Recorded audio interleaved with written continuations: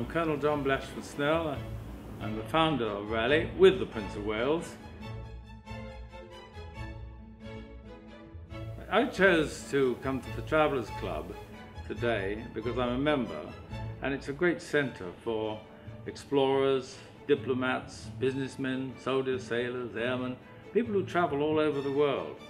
And uh, you never know who you're going to bump into in the bar or at lunch. And it's got a wonderfully friendly atmosphere and, and great facilities.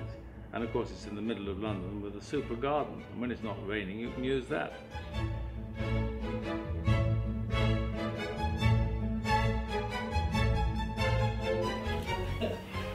Hell, we had a Playboy bunny appear behind the cat.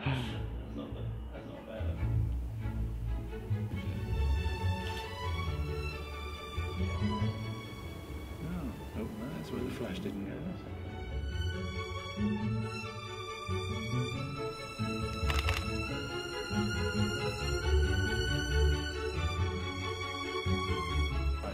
So Frankton being next I think so. I'm pretty certain. it did.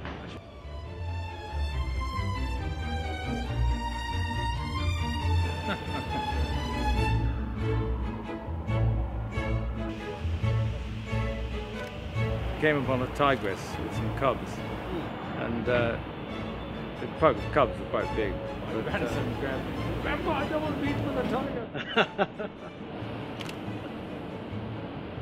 oh, that's lovely. Well, I wouldn't put very much value on my photographs. It depends how well you've taken them. I can't think anyone would want to buy them. Um, I only hope it doesn't break your camera taking them. Thank you. And, and I hope that uh, it's a a great success. Thank you.